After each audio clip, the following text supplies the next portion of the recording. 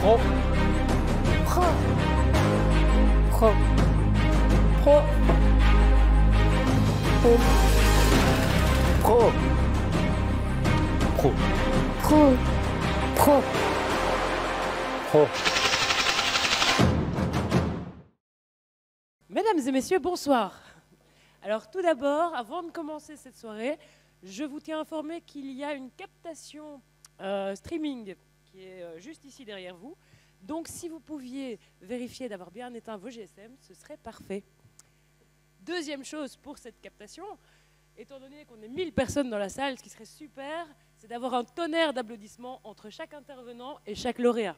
Merci pour eux.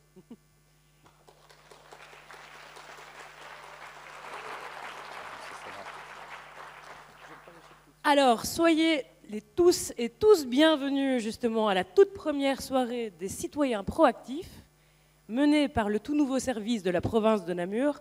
Le pôle activation de la transition territoriale permet à de nombreux citoyens de créer de nouveaux projets euh, grâce à des enveloppes qui leur sont dédiées. Depuis 2021, donc c'est tout proche, c'est juste la fin de l'année dernière, plusieurs volets ont été créés par le service de la province de Namur afin d'informer les citoyens, de débattre avec eux, de leur permettre d'améliorer leur cadre de vie. Et ces volets sont euh, des appels à projets, un budget participatif, des rencontres citoyennes, des conseils consultatifs, un service citoyen et la plateforme Ensemble en province de Namur. Je cède alors la parole à Monsieur le député provincial, en charge notamment de la participation citoyenne et du développement de la transition territoriale, qui va vous expliquer plus en détail ces différents projets. Merci d'accueillir Monsieur Amaury Alexandre.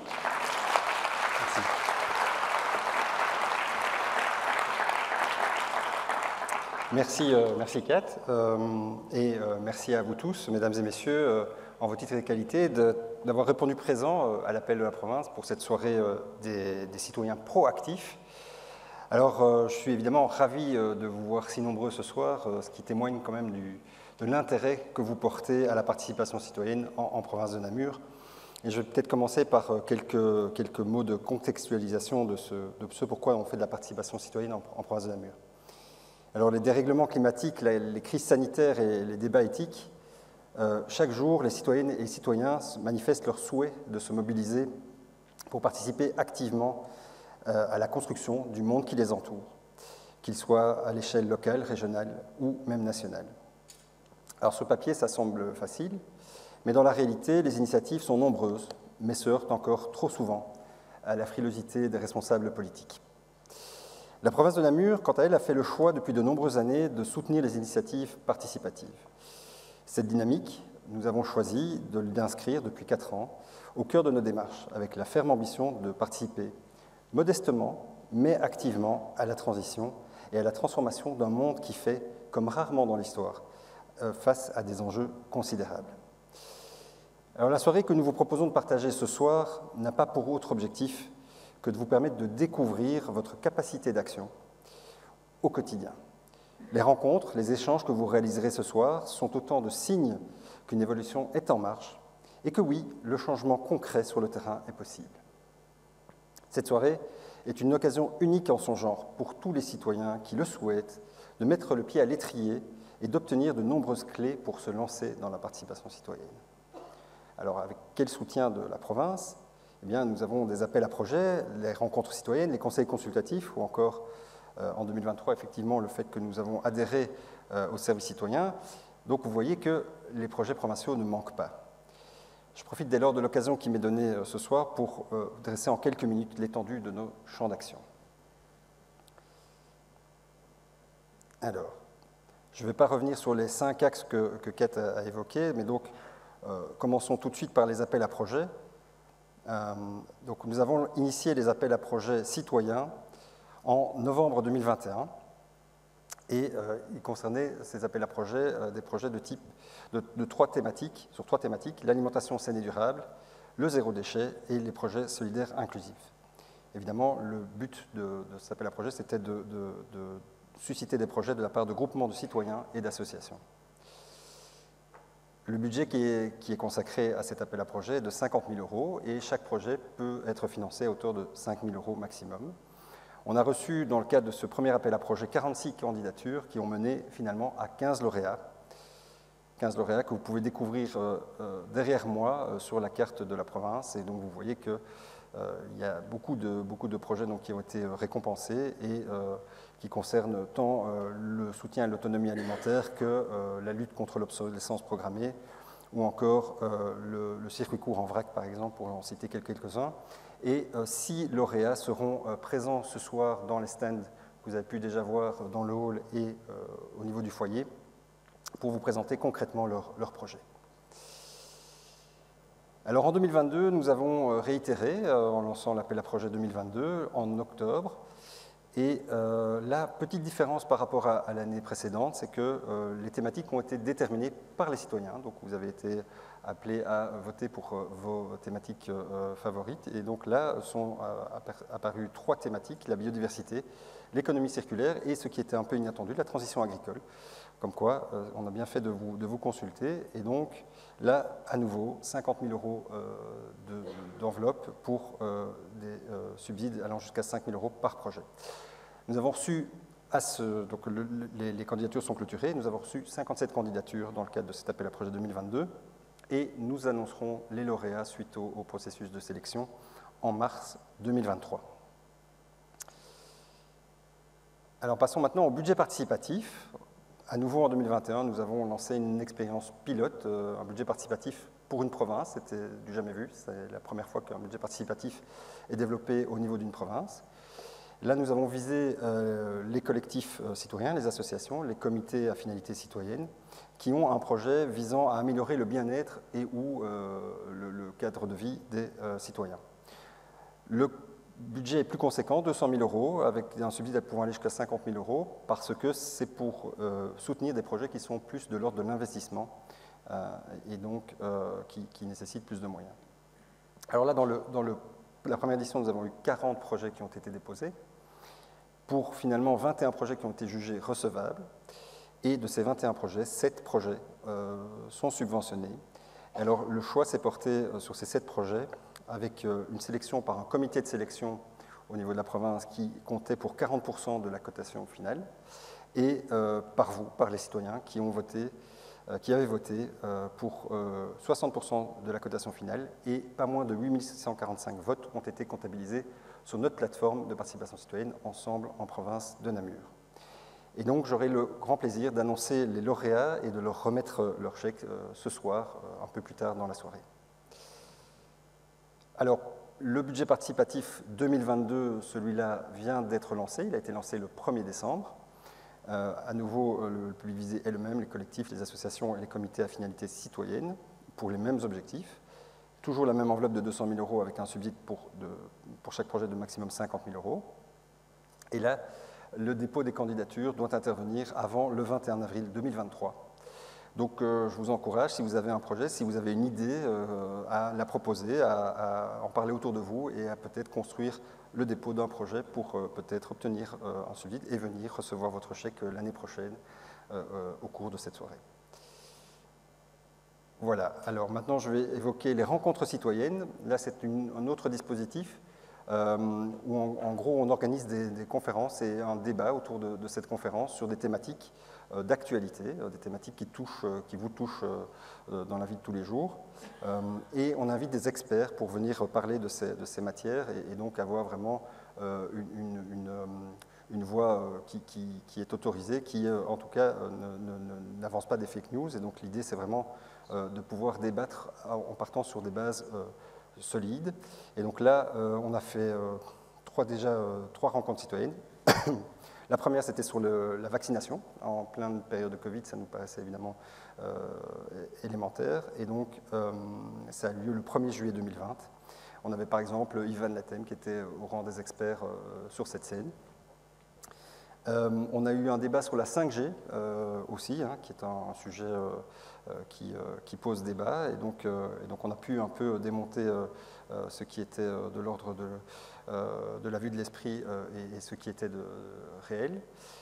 Et enfin, la dernière rencontre qui a eu lieu, c'était sur l'agriculture familiale et coopérative. Et donc là, c'était de voir si ce modèle d'agriculture était euh, toujours viable en Wallonie. Et la prochaine euh, rencontre citoyenne, elle aura lieu dans pas moins d'une semaine. Euh, elle aura lieu à Jean-Blou, à l'Atrium 57, c'est-à-dire le centre culturel de Jean-Blou, donc le 15 décembre prochain, à 18h30. Et le thème, c'est un thème ô combien d'actualité, le mix énergétique belge voire européen, et donc de voir un peu euh, vers quel euh, mix il faut s'acheminer pour pouvoir répondre aux enjeux à la fois climatiques, euh, aux enjeux économiques, puisqu'on sait bien que ça, ça, en pose et, plus, de manière beaucoup plus intense ces derniers temps. et donc voilà, il y aura des experts, il y aura des personnes qui défendent le nucléaire, il y aura des personnes qui défendent l'énergie renouvelable, donc il y aura vraiment un échange de différents points de vue, et donc je vous invite tous, si ça vous intéresse, à venir nous rejoindre à l'Atrium 57 dans une semaine. Soyez les bienvenus. En 2023, euh, là, on va euh, développer euh, une rencontre citoyenne sur le thème des fake news et de la démocratie, et donc de voir comment, comment maintenir la démocratie, avoir un débat qui, soit, qui soit serein et correct sur base de, toutes les informations qu'on peut trouver sur les réseaux sociaux, et donc de pouvoir faire la part des choses aussi et de, voir un petit peu quels sont les, pièges aussi dans notre façon de réfléchir, euh, qui, sont, inhérents à l'être humain, euh, et, donc de, pouvoir euh, éviter de tomber dans le panneau trop facilement. Voilà, alors, dernier dispositif, le service citoyen. On vient d'adhérer, la province de Namur, c'était au conseil d'il y a deux semaines, a adhéré au service citoyen, il y a une semaine, pardon. Qu'est-ce que c'est que le service citoyen? Finalement, c'est accueillir en stage de six mois des jeunes entre 18 et 25 ans qui sont peut-être euh, en décrochage au niveau de leurs études, qui sont en train de chercher leur voie euh, dans leur carrière professionnelle et qui ne savent pas trop euh, vers quoi se tourner. Et donc l'idée, c'est de les accueillir dans le, le giron provincial, dans les services, pour qu'ils puissent essayer des choses et peut-être trouver leur voie. en tout cas, c'est tout ce qu'on souhaite en, ayant fait cette expérience au sein des services provinciaux et qu'ensuite ils puissent évidemment s'épanouir dans leur carrière professionnelle qui, qui viendra ensuite. Voilà. Euh, alors je vais évoquer les conseils consultatifs, mais brièvement, puisque euh, nous avons euh, Denis Lobet et Erika Genot qui vont venir nous en parler juste après mon intervention. Donc je ne voudrais pas, quelque part, évoquer des choses qu'ils vont, qu'ils vont vous redire. Euh, mais donc l'objectif qu'on a, qu'on a, souhaité euh, porter avec ces conseils consultatifs, c'est finalement euh, mettre en débat des thématiques qui soient, soit proposées par la province, parce qu'il y a un intérêt à un moment donné pour, pour une question, ou, ou, par les citoyens eux-mêmes, hein, donc par vous qui pouvez aussi amener des débats, et tout ça dans un esprit de co-construction. L'idée étant de faire émerger des recommandations ou des projets que la province pourrait alors soutenir et, donc d'alimenter ces dynamiques euh, participatives au niveau local, hein, donc en collaboration avec les communes, puisqu'effectivement euh, les élus euh, communaux font partie des conseils consultatifs aussi pour avoir cette, transversalité qui puisse s'exprimer.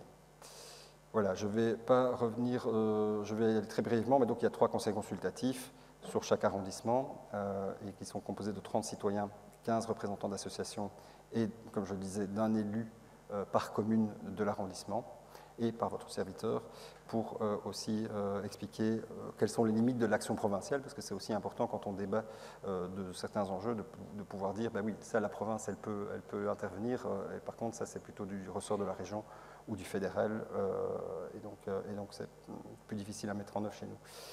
Voilà, et donc ces, citoyens et associations sont sélectionnés par un panéliste hein, qui, a pour but de, euh, définir un groupe de citoyens le plus représentatif possible euh, de la population du territoire.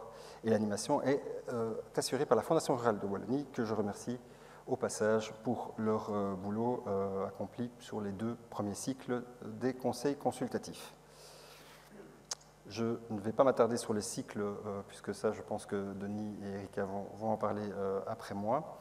Euh, mais donc l'idée est chaque fois de mettre en contexte euh, une thématique et puis euh, de proposer des recommandations.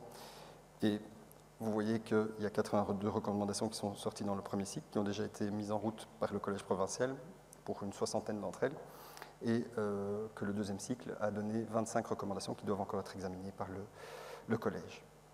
Voilà.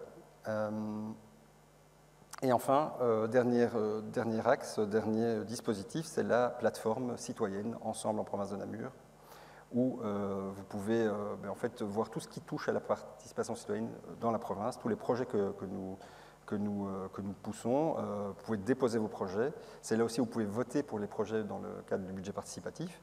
Euh, et vous pouvez aussi découvrir tous les projets de- des associations et des citoyens sur le territoire tout en étant aussi informé des actualités et de, des thématiques, notamment des conseils consultatifs. Il y a 7608 utilisateurs au jour d'aujourd'hui et, par ailleurs, via cette, cette euh, plateforme, il n'y a pas eu pas moins de 8600 votes dans le cadre du budget participatif, donc on peut dire que ça a rencontré un certain succès et raison pour laquelle on réitère euh, effectivement ces deux, euh, ce budget participatif. Voilà, je pense euh, avoir euh, tout dit, donc je vais te céder la parole, Kate. Parfait. Merci beaucoup, monsieur le député, pour ces précieuses informations. Avec plaisir.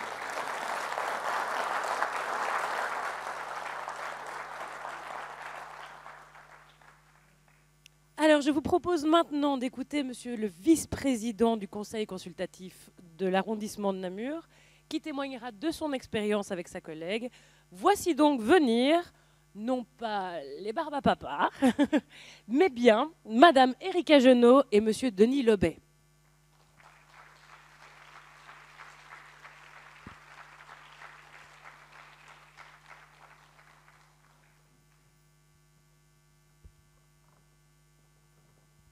Merci beaucoup.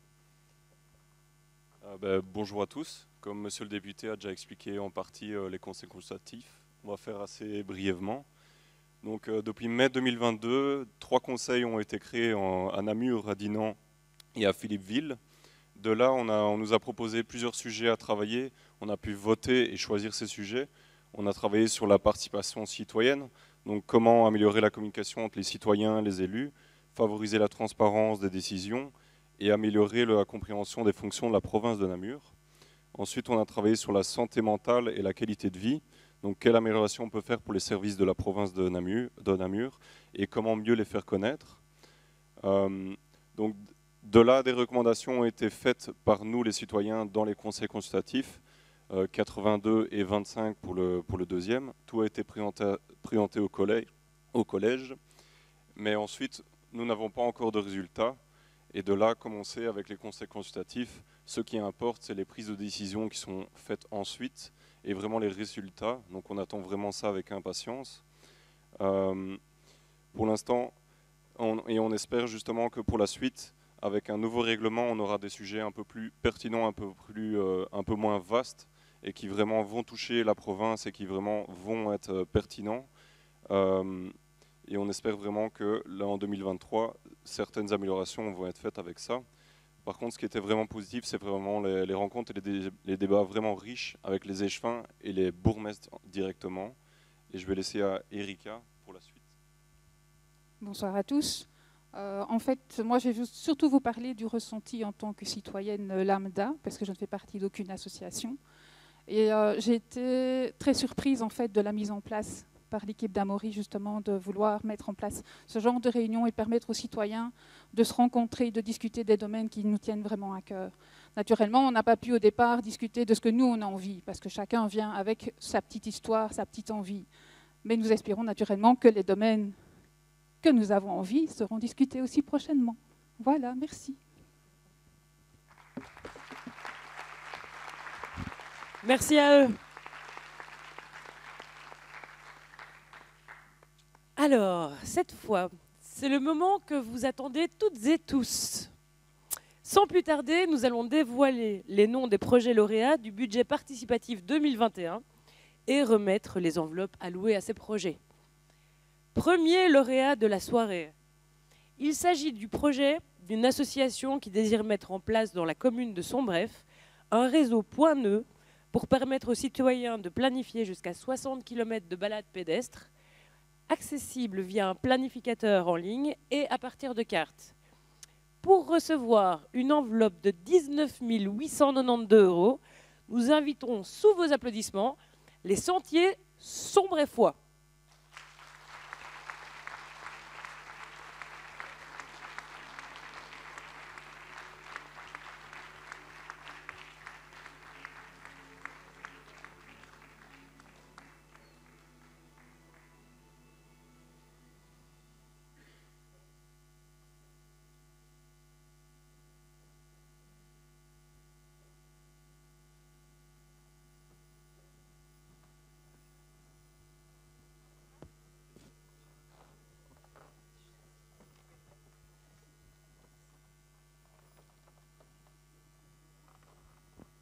Donc félicitations à tous, en tout cas, pour votre beau projet et pour euh, bah, donc, euh, le chèque que vous allez recevoir.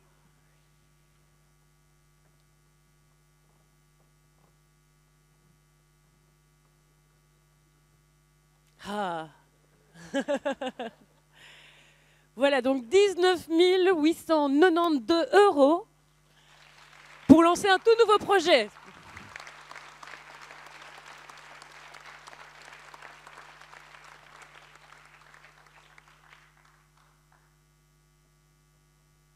Merci à vous. Ici, oui, s'il vous plaît.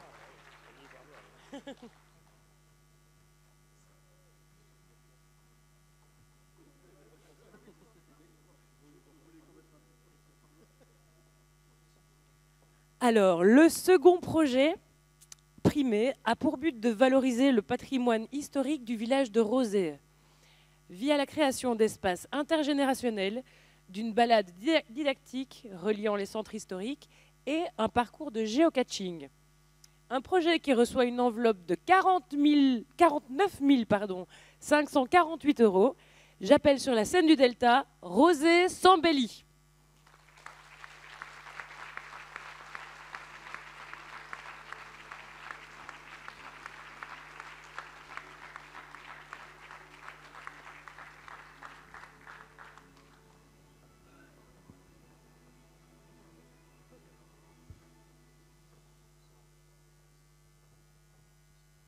Bonsoir. Alors un petit mot euh, rapide avant la photo et le chèque? Parfait. Je vous en prie. Ben voilà, c'est un projet qu'on a, lancé comme ça. Notre, groupement est créé depuis, deux ans. On a créé ça en plein Covid et on voulait re- faire de Rosé un village, euh, un village plus agréable, plus beau. C'est pour ça notre nom, Rosé Sambelli. Et puis alors, on a entendu parler de ce projet qui était vraiment un projet, un, un appel à projet en tout cas, qui était quand même très intéressant puisqu'il représentait quand même une très belle, somme. Vous le voyez d'ailleurs. Et donc, euh, on a donc des idées de se battre et d'essayer de créer vraiment un projet dans le village, qui intègre tout le monde dans le village. On a un centre pour handicapés, on a euh, des écoles communales, on a, on a beaucoup de jeunes, on a un troupe scout, etc. Donc on voudrait mettre tout le monde dans le bain. Et je crois qu'on a réussi parce qu'on a vraiment fait pendant trois mois euh, une recherche de, votants. Et on a beaucoup travaillé et je crois que c'est bien mérité. Je remercie tous les gens du groupe en tout cas pour ce qu'ils ont fait et la promesse bien sûr.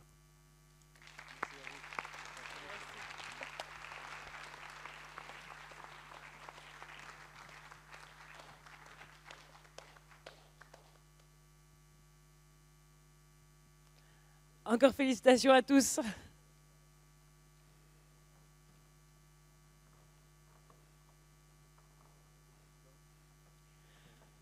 Alors, on dit souvent qui n'essaie rien n'a rien. Le prochain projet plébiscité, on dit que, mené par les membres du CCCA de Florène, souhaite mettre en avant et en valeur le patrimoine culturel des villages de l'entité de Florène via l'installation de panneaux reprenant des anecdotes et légendes des aînés locaux et la création d'espaces de convivialité et de repos. Les membres du CCA bien fait d'essayer puisqu'ils reçoivent une enveloppe de 23 387,25 euros. À vos mains, applaudissez.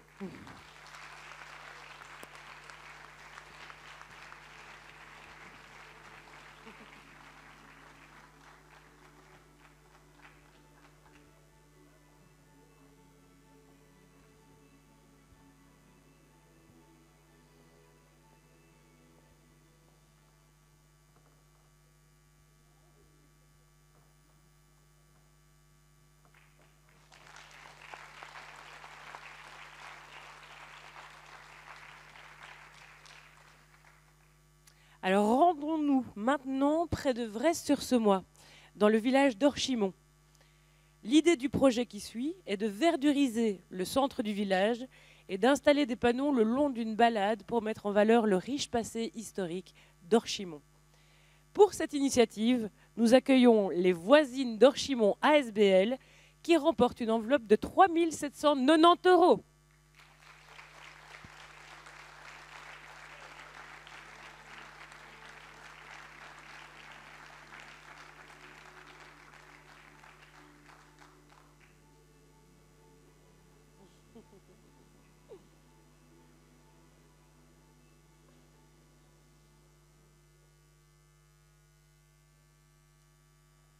Bravo.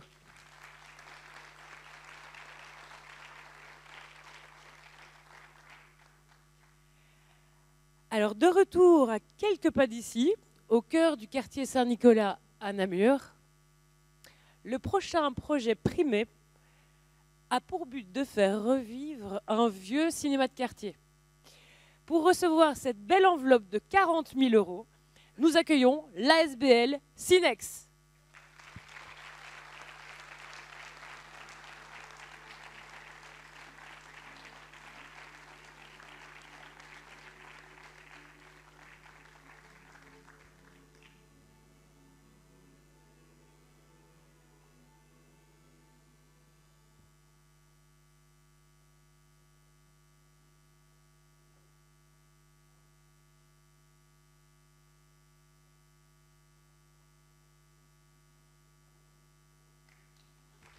Encore mille applaudissements et bravo à vous.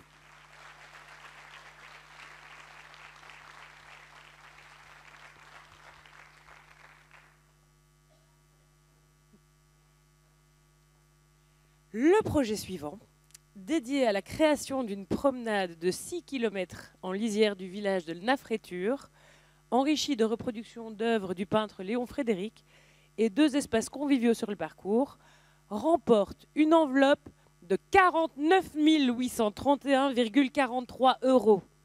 Bravo aux amis du peintre belge Baron Léon Frédéric qui nous rejoignent bien sûr sur le plateau.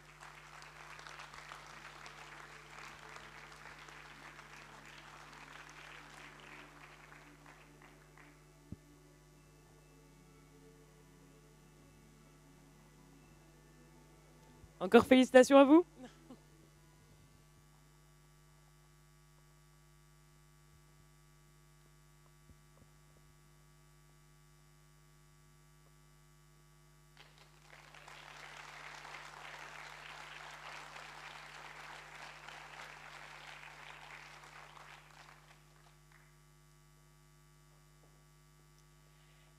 Last but not least, le septième projet retenu met à disposition des Joëlettes, un type de fauteuil roulant handisport qui permet de la randonnée pour les personnes atteintes de handicap ou de mobilité réduite, afin qu'ils puissent profiter des balades proposées par l'Office du tourisme. Alors, pour recevoir la dernière enveloppe d'un montant de 13 551,32 euros, je vous demande d'applaudir le collectif de défense des sentiers et chemins de Philippeville.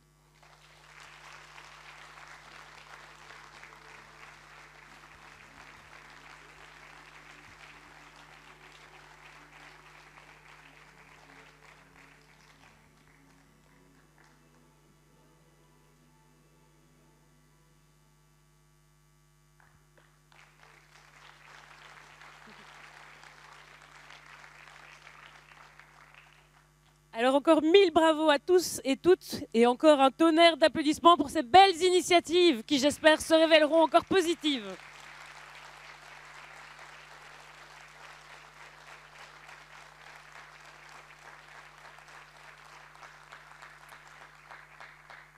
Je vous rappelle la prochaine conférence débat sur le mix énergétique, animée par Nathalie Ricaille d'Espace Environnement et en présence d'un panel exceptionnel d'experts qui se déroulera à l'Atrium donc 57 à Jean-Blou ce 15 décembre, donc c'est la semaine prochaine. N'hésitez pas à consulter le site donc province.namur, non pardon, ensemble.province.namur.be pour plus d'infos bien sûr. Alors, c'est le moment de vous proposer dans quelques petites minutes de rejoindre le foyer et le hall d'accueil du Delta. Vous y attend un chouette parcours afin de découvrir les stands des lauréats de l'appel à projet 2021, ainsi que les lauréats de ce soir, et également l'ASBL Service Citoyen, Génération Solidaire, qui est une émanation du bien connu quotidien vers l'avenir, le Bureau international de la jeunesse, et bien sûr le nouveau service de la province de Namur, le pôle activation de la transition territoriale.